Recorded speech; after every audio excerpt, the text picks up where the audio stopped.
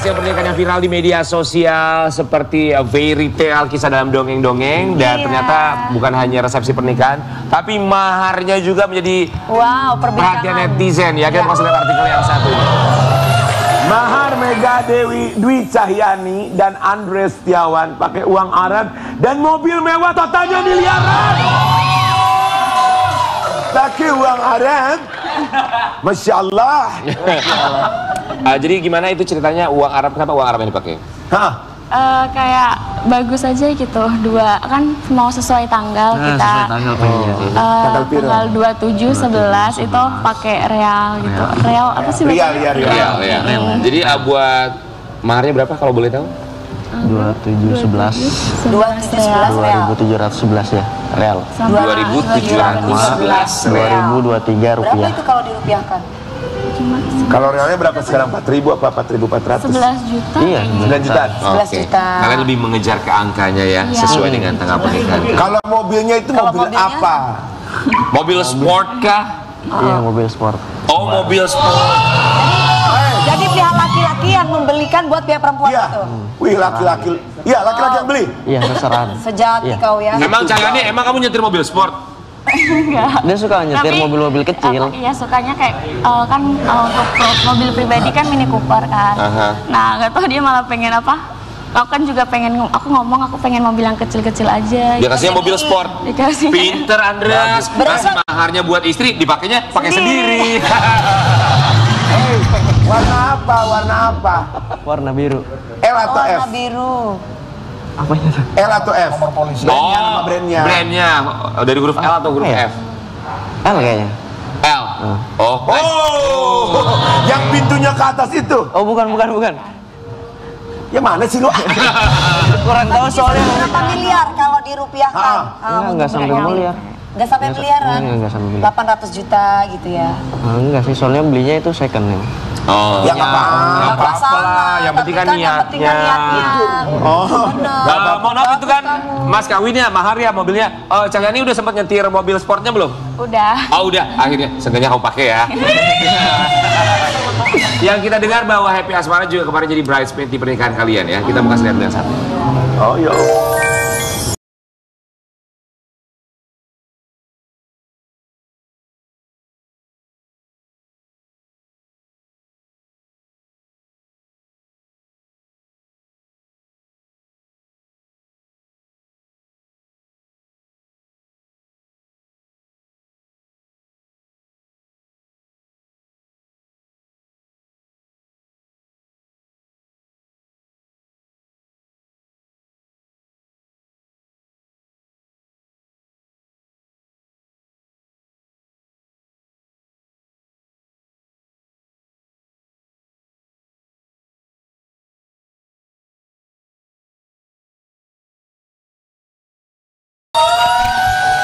Kalian temenan banget.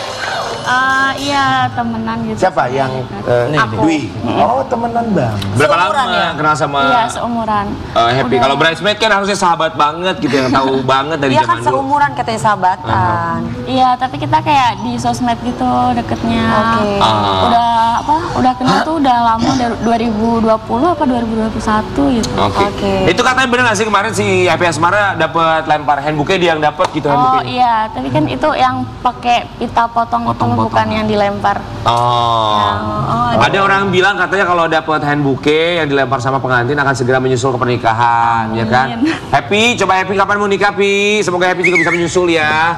Happy, eh Bu, mau tanya dong sama Cahyani sama eh, Andreas kemarin Happy Asmara jadi bridesmaid datang ke pernikahan kalian sama siapa? Ah, ah.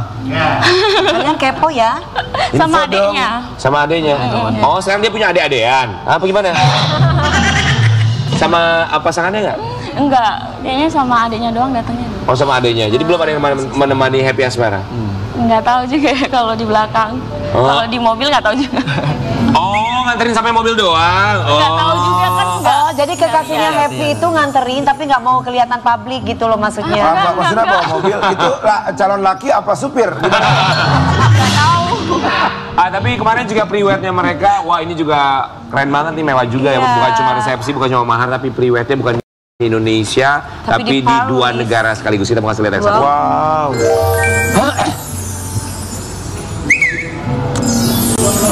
Wah, wah. Wah, bagus banget. Belum, belum ibu bagus banget. Kenapa pilih dua negara? Dua negara Emang, ya di mana aja? Iya. Di mana?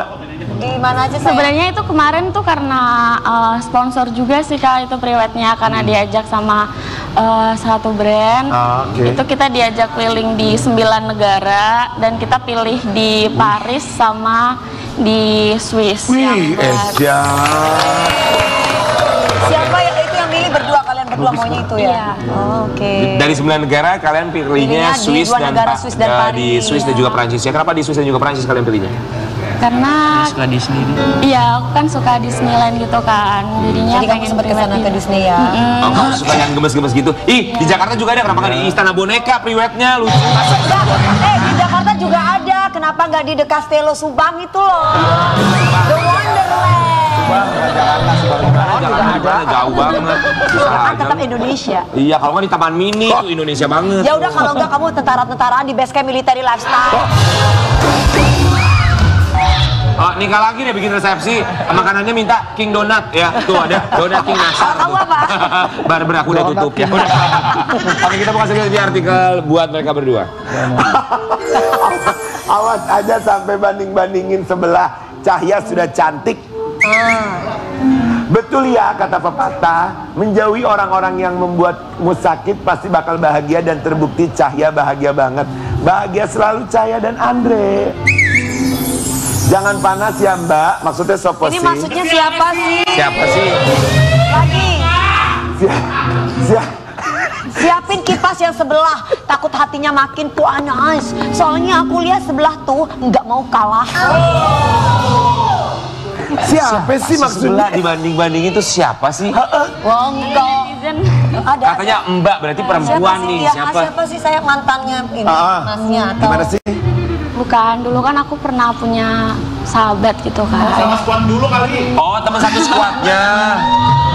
Ya, sahabat itu tuh sahabat kamu cuman udah nggak baik. Sekarang udah kayak masing-masing. masing-masing karena nggak suka kamu sama dia gitu. Enggak ya, kan ada masalah gitu jadinya. Cemburu gitu, cemburu ya. Karena dia masih jomblo sedangkan kamu sudah punya pasangan gitu. Aku banget ya.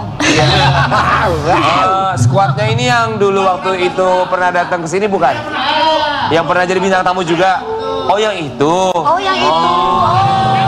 Iya. Diundang nggak teman kamu itu?